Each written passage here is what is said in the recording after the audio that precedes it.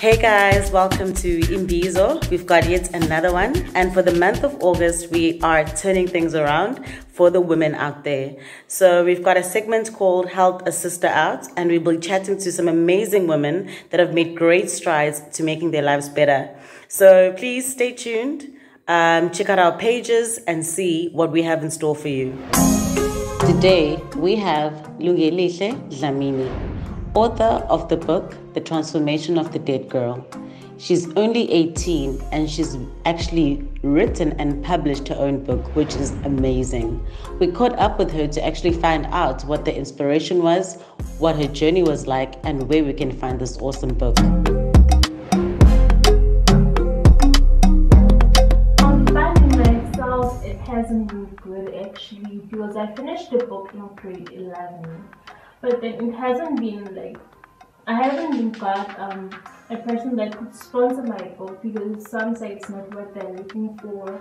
Um, and it has been hard finding a person that could fund the book, that could um, fund the book itself and have hope that the book will thrive. And it has been rocky, but luckily I got opportunity to partner with Klavani Empower, Empower Publishers that gave me the opportunity to find my book. And it has been great because they gave me hope that the book will actually reach the, the right readers that can help people become have idea what the author was trying to say and, and understand the, the words behind the book so that they can see what I was trying to give people the lesson and become better versions of themselves. And it's, it's been great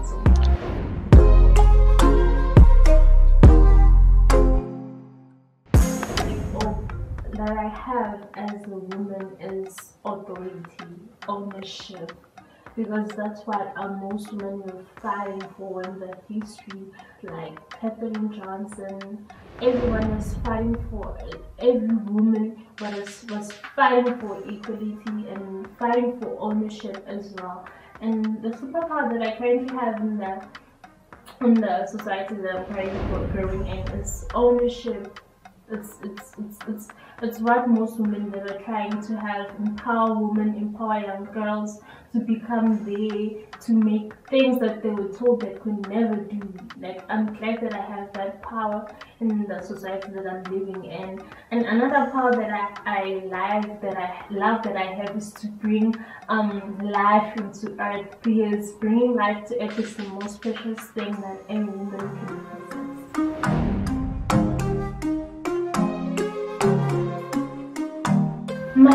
In the future is to write more books, more books. I'm working on a second project and I'm hoping to take the world in the storm like it's this one is taking people in the storm.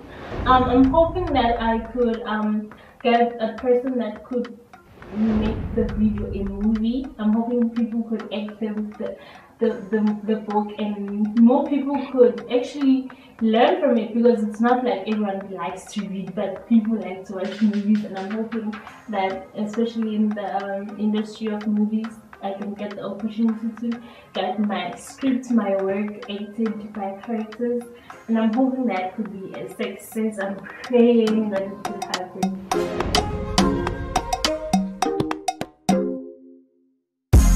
Message that I have for the future is like I said, do not allow fear to take charge of your um, of your decisions that you make.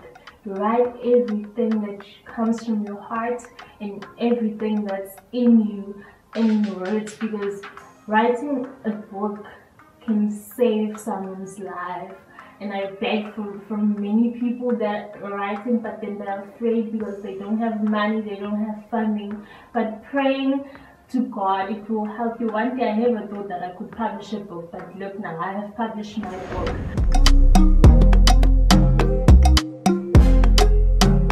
People can get the book on www.empowerpublishers.co.za. It's 225 RMB. Or you can get it from me direct order um, at Twitter, Instagram, and WhatsApp, which my number is 076 1196 or 072 923 5196. yeah, I'll get the book for you. Thank you.